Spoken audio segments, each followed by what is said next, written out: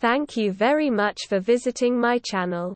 If not difficult, like and subscribe to my channel to always be aware of events.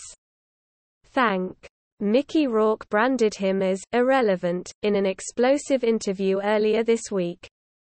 But Tom Cruise, 60, appeared to taking the criticism in his stride on Tuesday by flashing his famous grin as he stepped out for the first time since it aired.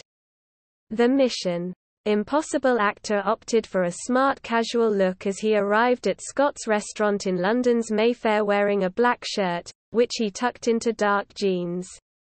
The meal was likely a celebratory event as the British film executive was made a dame at Windsor Castle earlier on Tuesday, and described the honour as exceeding all expectations.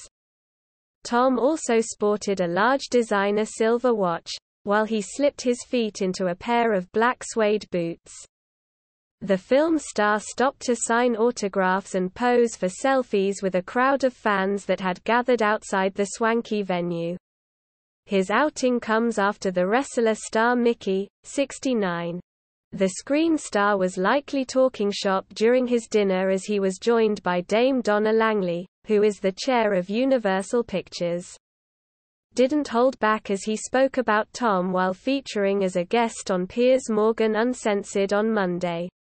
Mickey said, The guys, Tom, been doing the same effing part for 35 years. I got no respect for that. His words came after Piers asked Mickey how he felt about Tom's latest movie Top Gun, Maverick being at the top of the box office charts. He said, That doesn't mean ST to me.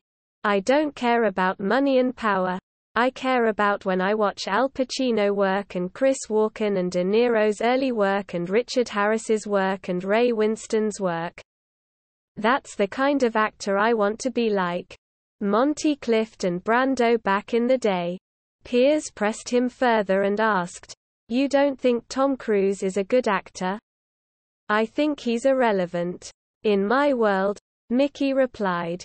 It is not the first time American actor and former boxer Mickey has criticized the movie world. Last year, he criticized Marvel films as well as the actors who star in them after discussing how much he loves law.